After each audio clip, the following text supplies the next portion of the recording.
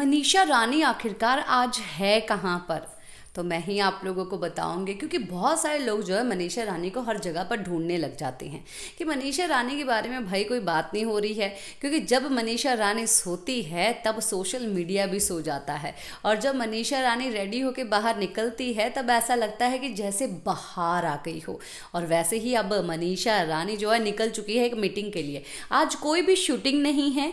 Manisha Rani rest करने के बाद जो है मीटिंग के लिए निकली है अपने दोस्त की गाड़ी में और एक मीटिंग अटेंड करने के बाद जो है, वो जाएगी थोड़ी बहुत जगहों पर कुछ छोटी मोटी जैसे रील्स या कुछ कुछ ऐसी मीटिंग्स होती कुछ ऐसे स्मॉल शूट्स रहते हैं।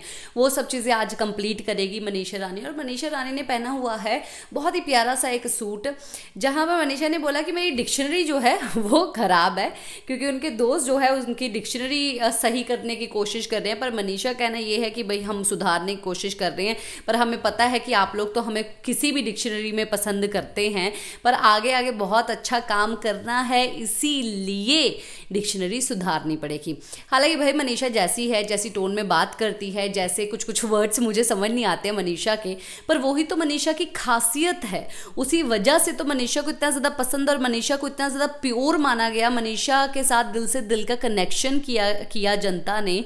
इसी कारण, पर सही तो बात बोल रही है मनीषा कि आगे काम करना है। अगर लैंग्वेज क्लियर रहेगी तो डायलॉग्स क्लियर होंगे और लोग जो है सही से समझ पाएँगे, क्योंकि आप लोग तो प्यार करते हैं मनीषा को वो लोग भी प्यार करने चाहिए जो लोग अभी तक मनीषा को जानते नहीं हैं। हालाँकि सब लोग जानते हैं बट चंद लोग अभी बीच में छूट गए ना, वो भी लोग प्यार करने लग जाएँगे जब मनीषा रानी हर जगह पर दिखाई देगी।